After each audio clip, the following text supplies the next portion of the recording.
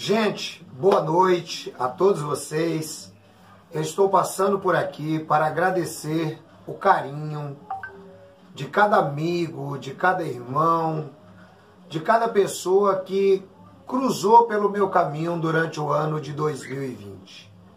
Foi um ano difícil, foi um ano de pandemia, foi um ano de dificuldades financeiras foi um ano que nós conseguimos nos superar.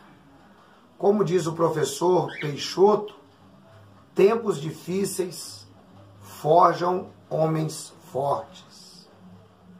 E foi um tempo que nós conseguimos nos reinventar, conseguimos crescer um pouco mais, apesar de todas as dificuldades. Eu quero agradecer a cada pessoa inscrita no nosso canal JWR. Eu quero agradecer a cada administrador pelo trabalho e pelo engajamento na causa. Eu quero agradecer a você que está chegando agora. Eu quero agradecer a cada irmão, a cada irmã, pelo abraço, pelo carinho.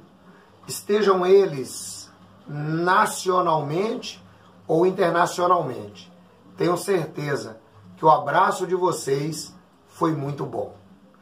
Deus abençoe todos vocês. Tenham todos um Feliz Natal. Não importa se Jesus nasceu em 25 de dezembro ou não. Imagine se nós tivéssemos que datar a data do nazismo. Poxa, o nazismo existiu porque ele começou no dia 3 de outubro e no dia 4, senão não existiu. De maneira nenhuma, isso é idiotice. Jesus nasceu, o Salvador do mundo chegou, ele se fez carne, habitou entre nós, é o Verbo de Deus, veio para nos salvar. Cresceu, morreu, foi crucificado, morto e sepultado, ressuscitou ao terceiro dia, está à direita de Deus e espera para julgar os vivos e os mortos.